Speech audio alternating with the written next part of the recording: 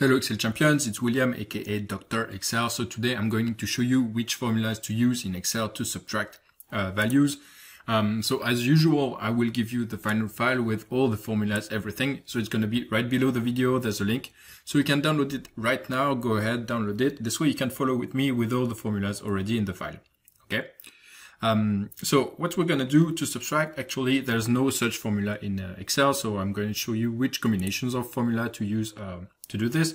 So for example, here it's uh, like some kind of bank statement. I have some credit values, which means I receive money, and debit values, which means uh, basically I, I, gave money. I paid some money away. Uh, and overall, uh, we can see that uh, the sum of uh, credit is 12,000, sum of debit is 16,000, so the overall sum is negative. So how uh, can I subtract the debit from the credit? So there's several ways. Um, so we're going to do, each time we're going to do a sum. So you, so I can uh, make a sum of everything. I'm going to make a sum of the positive values each time. And each time I want to, uh, to subtract the value, I'm going to use minus the, the value. If it's, uh, here it's positive. So if it, since it's a debit, I have to put minus negative. Um, and each time I'm going to do this way, uh, I'm gonna add every uh, oops uh, every um, value that I want to subtract with the minus in front of it, and so on and so on. Um, this one minus minus this one, this one. Okay, so that's the very naive way to do this.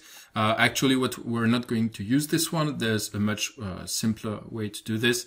So we can, uh, for example, we can make a sum of everything, sum of all the positive values. So here I have to, uh, to expand to the whole column. I'm going to make the same thing. I'm going to make a sum of all the negative values. And then I'm going to make sum of positive minus sum of negative. It's going to give me the same thing.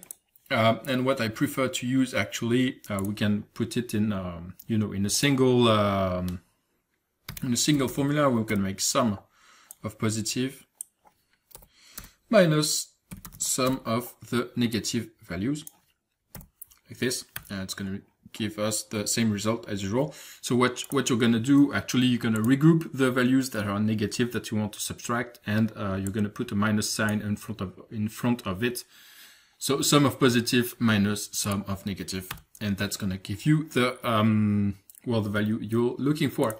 So you can check out the different examples uh, right below. I put the file with all the formulas. Don't forget to download it. And I will see you tomorrow for a new Excel tutorial. Don't forget to subscribe. This way you'll be notified whenever I publish. See you tomorrow, champions. Ciao.